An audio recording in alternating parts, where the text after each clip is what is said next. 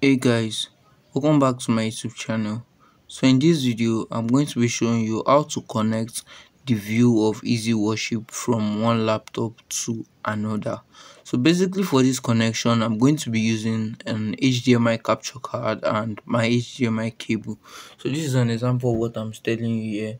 So this is the hdmi capture card and this is my hdmi cable connected from my primary laptop to my secondary laptop so firstly on the primary laptop, I'm going to be opening Easy Worship. So when you open Easy Worship, you will need to have either vMix or OBS Studio on the primary laptop because without those software, you can't be able to transfer the view to the other laptop. So after opening vMix, I'm going to be going to Edit. Then from Edit, I'll go to Options then on option i'm going to click on output monitor and change it to ndi stream. If you haven't changed it it's going to be on monitor one but it's because i've changed it before to ndi stream. That's why my view is on ndi stream. So output monitor then i'll click on ok. So you just have to go back. So i'm going to make use of vmix but if you want to make use of obs it's your choice. So you come to vmix and click on add input so now the input here. You come to ndi stroke desktop capture. Then on this place you see easy worship live. Then click on it. Okay so as you can see easy worship has been imported to my vmix successfully. So now in order for me to take this easy worship view to my other laptop.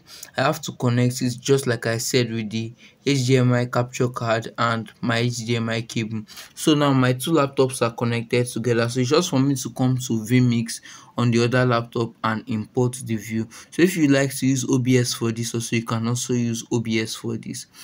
So for us to bring this in you just have to come to add input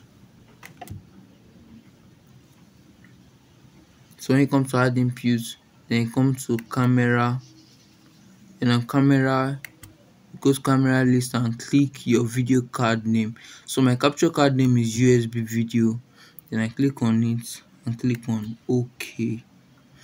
So it should be connected. Okay i think i'm having a minor error here. I have to come back to my vmix here and activate my full screen. So if i activate this it should be able to show so as you can see now i now have the view of my view um of my easy worship on my secondary laptop.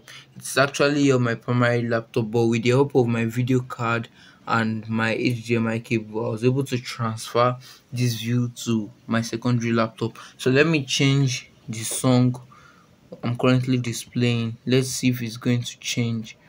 Let me go to something else entirely. Maybe a scripture or still a song but another song okay let me change the song.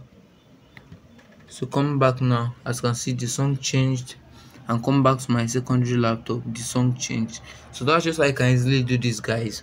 If you find this video very helpful don't forget to smash the like button and subscribe to this channel for more amazing tips like this. Thanks for watching guys